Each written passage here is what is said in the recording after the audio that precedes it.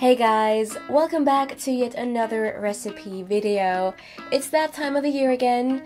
It is time for school related YouTube videos. This video features some super simple, lazy vegan snacks to make when you come home from school or uni or work or whatever it might be, so obviously this is not just for students. Without further ado, let's just get right into it. For this first idea, we're making a super lazy berry and coconut ice cream sundae.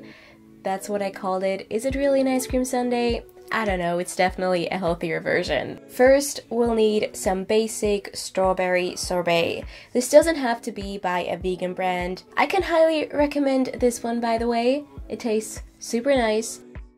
And we're pairing that with some plain coconut yogurt. I love this combo since the sorbet is like super sweet and the coconut yogurt isn't, so it kind of balances it out. I sprinkled some desiccated coconut on top and finished everything off with some chopped up strawberries. It looks all melted like that because I took my time cutting the strawberries apparently. Just one of those nights when you my back. I don't want no love, you can have that back. Next up, we're making something savory. We're making non boring, lazy mini hummus toasts um, in two different ways. First, get your favorite plain hummus. Go test out different brands to find the one that you like because all taste slightly different. One of my favorite brands is called Noa. Um, they got great hummus. This is not sponsored by them, even though um, I'm open to it. Combine one tablespoon of hummus with one tablespoon of fresh lemon juice.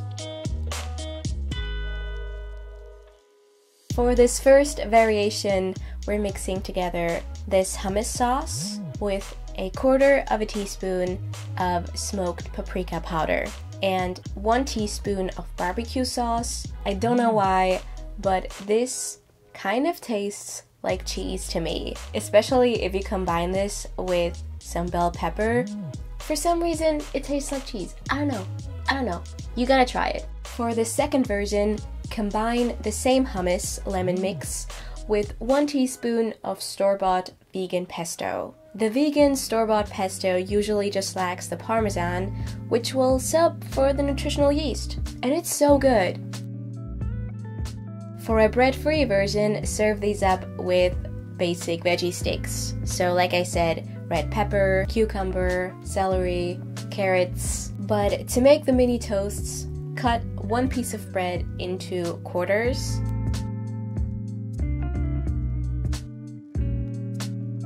and then heat up a pan to medium high and let the pieces of bread brown for 2 to 3 minutes on either side.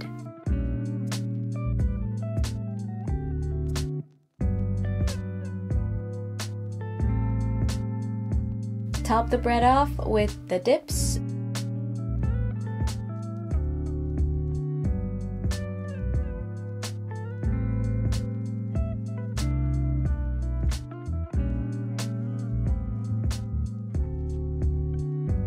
And that's it. If you want to make this for multiple people, you could easily double, triple, or quadruple the amount you make. You can serve it up with baked tortilla chips.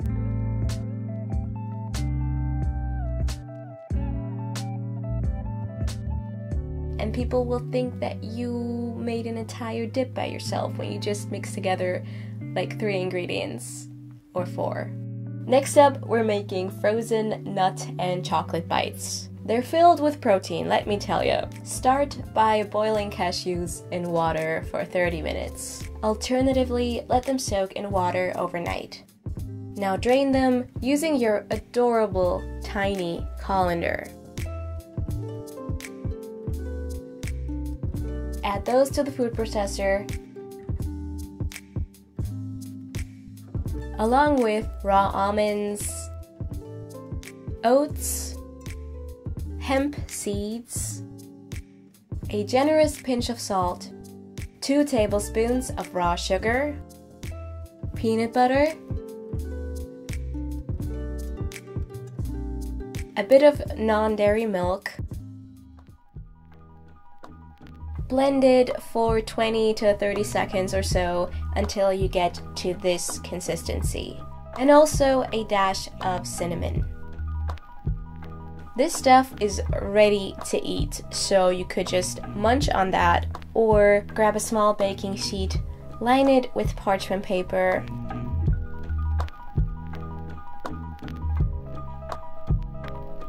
This went into the freezer for at least one hour. Right before taking them out of the freezer, make sure to melt down some dark vegan chocolate, drizzle it on top, and it's gonna harden super quickly since obviously the bites are frozen. And that's it, there you go. You can store these in the freezer as well and have an even lazier snack. For this last idea, we're making my favorite favorite smoothie at the moment. Vanilla Cherry Almond. A classic combo which I had never put in a smoothie before. To make that yourself, grab your blender and add frozen cherries. A heaping tablespoon of plain almond butter. One frozen banana, just for the creaminess factor, you won't really be able to taste it. And vanilla, almond, or soy milk. This tiny one worked perfectly because it comes as one cup and it is pretty sweet, so the whole smoothie tasted like a milkshake.